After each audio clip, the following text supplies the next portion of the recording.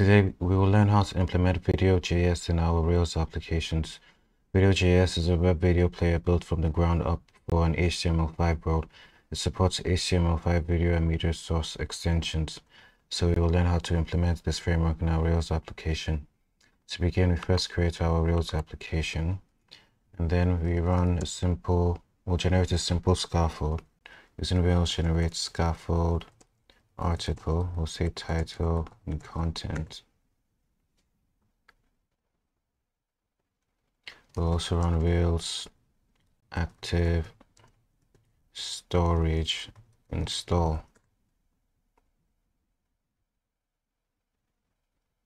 With that, we can run Rails DB prepare.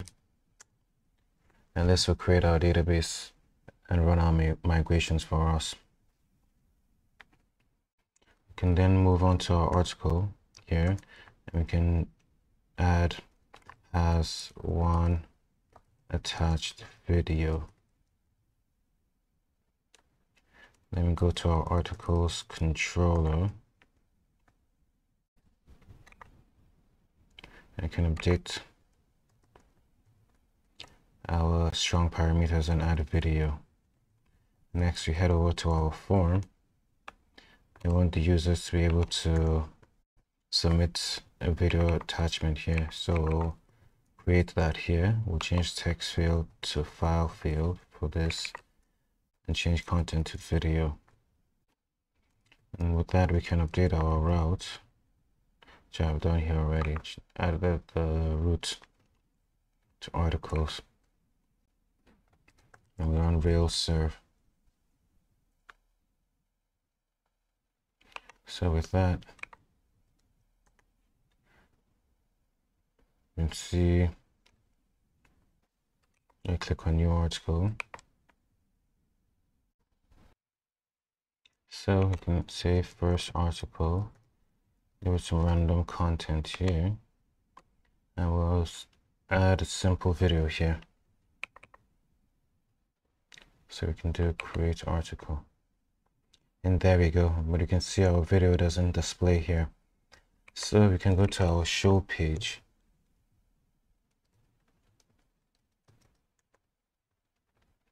And right about here? You can use a video tag element. You can go ahead and do the source for the video. Now source we will use.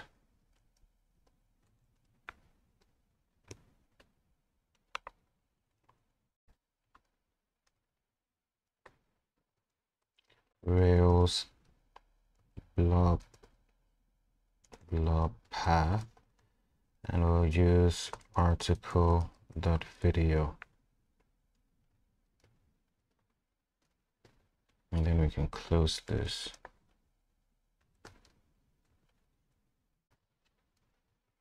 So if we come back here and we refresh it,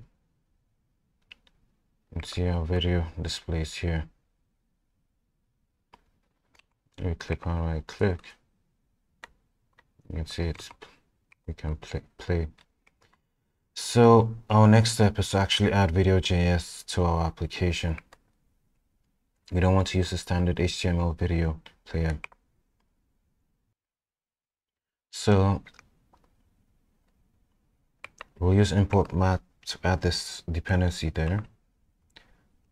So we simply do bin slash import map pin video.js.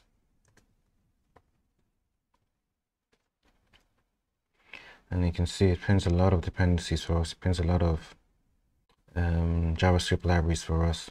But we'll really only use one here. So if we head over to import map, you can see there are a lot of things right here but it's this we'll be using this video JS so we can head over to our stimulus controller the default one that is created. We'll delete this right here. We don't need it. I think we should also rename this from hello controller to let's call it video controller first we do import video.js from video.js and we head back to our show page and we can wrap this in a data controller. This data controller we'll call it video because the name has to match with our stimulus controller div our next step to get everything running up is to add the css the style sheet for video.js so now that we're uploading that we go over to application.html.erb right about here we can paste it in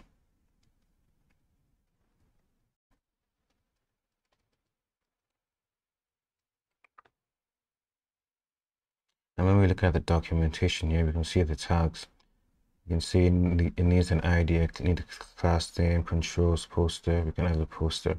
So we can simply just copy this right here.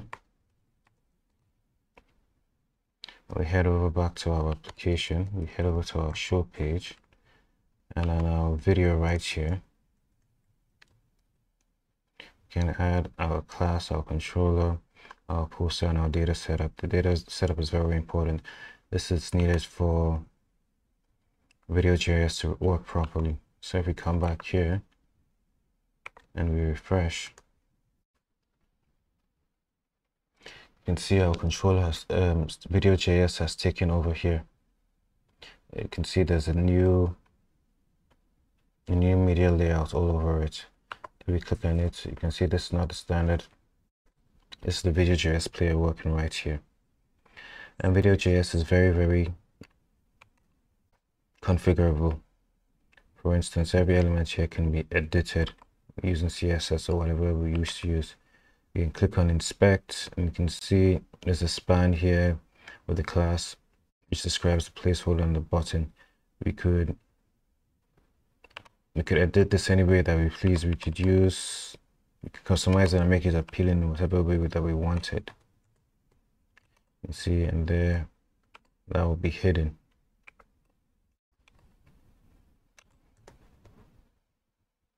so if we do not wish to do this ourselves video.js also comes with certain th um, themes that we can use to style our application